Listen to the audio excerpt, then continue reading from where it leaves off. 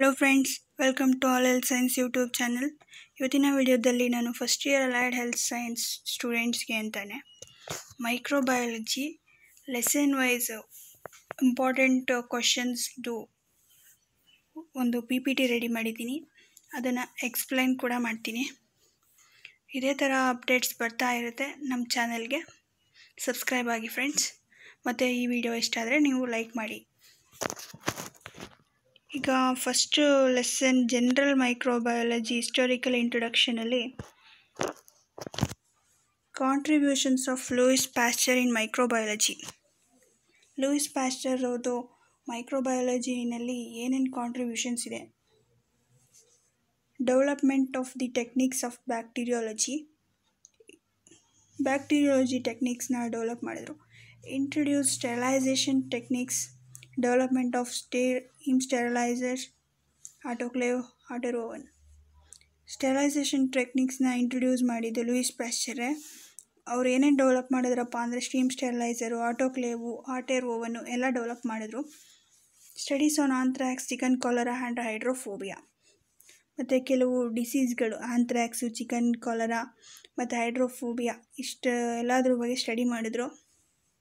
ಮತ್ತು he introduce live attenuated vaccines for prophylactic use ಕೆಲವೊಂದು live ಆಕ್ಟಿ ಆರ್ಟಿನೇಟೆಡ್ ವ್ಯಾಕ್ಸಿನ್ಸ್ ಬಗ್ಗೆ ಸ್ಟ ಇಂಟ್ರೊಡ್ಯೂಸ್ ಮಾಡಿದ್ರು ಅದನ್ನು.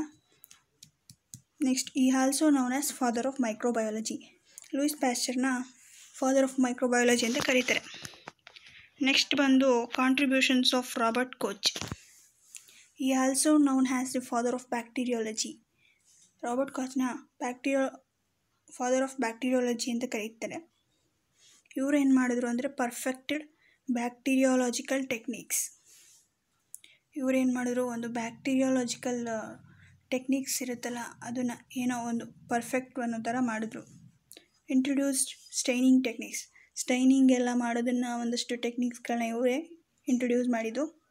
Discovered anthrax bacillus tuberculous bacillus and vibrios. ಇವರು ಇಷ್ಟು ಬ್ಯಾಕ್ಟೀರಿಯಾಗಳನ್ನ ಆಂಥ್ರಾಕ್ಸ್ ಟ್ಯುಬರ್ಕ್ಯುಲೋ ವಿಬ್ರಿಯೋ ಬ್ಯಾಸಿಲಸ್ ಇಷ್ಟನ್ನು ಡಿಸ್ಕವರ್ ಮಾಡಿದ್ರು. Next Koch postulates. ಮತ್ತು ರಾಬರ್ಟ್ ಕೋಚ್ ಏನು ಮಾಡಿದ್ದಾರೆ ಅಂದರೆ, ಕೋಚ್ ಪಾಸ್ಟುಲೇಟ್ಸ್ನ ಪ್ರಿಪೇರ್ ಮಾಡೋರು ಇದು ಒಂದು ಎಕ್ಸ್ಪೆಕ್ಟೆಡ್ ಕ್ವಶನು ತ್ರೀ ಮಾರ್ಕ್ಗೆ. ಕೋಚ್ ಪಾಸ್ಟುಲೇಟ್ಸ್ ಏನಕ್ಕಪ್ಪ ಮಾಡಿದ್ರು ಅಂದರೆ ಇಲ್ಲಿಗೆ ಇವರು ಪಾಸ್ಟ್ಯುಲೇಟ್ಸ್ ಬರೆದಿದ್ದಾರಲ್ಲ, ಆ ಕಂಡೀಷನ್ಸ್ ಮೇಲೆ ಆ ಒಂದು ಆರ್ಗ ಮೈಕ್ರೋ ಆರ್ಗನಿಸಮ್ನ ಕಾಸಿಟಿವ್ ಏಜೆಂಟ್ ಅಂತ ಇದು ಮಾಡ್ತಾರೆ. ಅದು ರೋಗ ಹರಡುವ ಒಂದು ಮೈಕ್ರೋ ಆರ್ಗನಿಸಮ್ ಅಂತ ಡಿಸೈಡ್ ಮಾಡ್ತಾರೆ. ಏನೇನಪ್ಪ ಇವರು ಹೇಳಿದ್ರು ಕೋಚ್ ಪಾಸ್ಟ್ಯುಲೇಟ್ಸಲ್ಲಿ ಅಂತ ನೋಡೋಣ.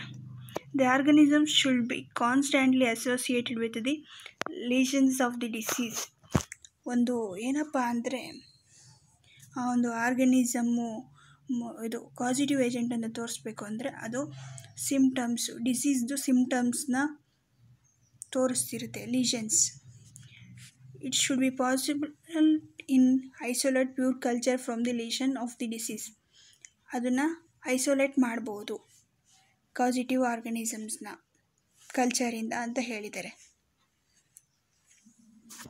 The isolated organism when inoculated in suitable laboratory animals ಒಂದು ಡಿಸೀಸು ಬ್ಯಾಕ್ಟೀರಿಯಾ ಏನಿರುತ್ತೆ, ಅದನ್ನು ಒಂದು ಅನಿಮಲ್ಸ್ಗೆ ಇನಾಕ್ಯುಲೇಟ್ ಮಾಡಿದ್ರೆ laboratory animals like mice rabbit ಇದಕ್ಕೆಲ್ಲ ಇನಾಕ್ಯುಲೇಟ್ ಮಾಡಿದ್ರೆ ಶುಡ್ ಪ್ರೊಡ್ಯೂಸ್ ಸಿಮಿಲರ್ ಡಿಸೀಸ್ ಅದು ಆ ಮೈಕ್ರೋ ಆರ್ಗನಿಸಮ್ಮು ಏನು ಮಾಡುತ್ತೆ ಯಾವ ಅನಿಮಲ್ಗೆ ಇಂಜೆಕ್ಟ್ ಮಾಡಿರ್ತೀವಿ, ಆ ಅನಿಮಲಲ್ಲೂ ಸೇಮ್ ಡಿಸೀಸ್ ಪ್ರೊಡ್ಯೂಸ್ ಮಾಡಬೇಕು. ಇದು ಇನ್ನೊಂದು ಸಲ ಹೇಳ್ತೀನಿ the isolated organism when inoculated in a suitable laboratory animals should produce similar disease ಕಲ್ಚರಿಂದ ಒಂದು ಮೈಕ್ರೋ ಆರ್ಗನಿಸಮ್ನ ಗ್ರೋ ಮಾಡಿ ಇದು ಮಾಡಿರ್ತೀವಲ್ಲ ಅನಿಮಲ್ಗೆ ಇನಾಕ್ಯುಲೇಟ್ ಮಾಡಿದ್ರೆ ಲ್ಯಾಬ್ರೇಟರಿ ಅನಿಮಲ್ಗೆ ಆ ಅನಿಮಲ್ ಚೆನ್ನಾಗಿದ್ರೂ ಈ ಬ್ಯಾಕ್ಟೀರಿಯಾನ ಇಂಜೆಕ್ಟ್ ಮಾಡಿರ್ತೀವಲ್ಲ, ಅದರಿಂದ ಡಿಸೀಸ್ ತೋರಿಸುತ್ತೆ.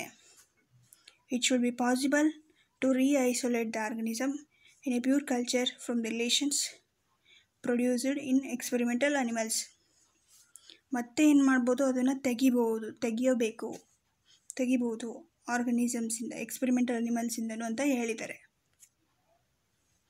ನೆಕ್ಸ್ಟು ಸ್ಟೆರಲೈಸೇಷನ್ ಆ್ಯಂಡ್ ಡಿಸ್ಇನ್ಫೆಕ್ಷನಲ್ಲಿ ನೋಡೋಣ. Sterilisation process in which article surface medium is made free of micro organisms either vegetative form or spore form ಏನಪ್ಪ ಅಂದರೆ ಸ್ಟೆರಲೈಸೇಷನ್ ಅನ್ನೋದು ಒಂದು ಪ್ರೊಸೆಸ್ಸು ಇದು ಏನು ಮಾಡುತ್ತೆ ಅಂದರೆ, ಸೊ ಒಂದು ಸರ್ಫೇಸ್ ಮೀಡಿಯಾನ ಮೈಕ್ರೋ ಆರ್ಗನಿಸಮ್ಸಿಂದ ಮತ್ತು ವೆಜಿಟೇಟಿವ್ ಆರ್ ಸ್ಪೋರ್ ಫಾರ್ಮಿಂದ ಫ್ರೀ ಮಾಡುತ್ತೆ.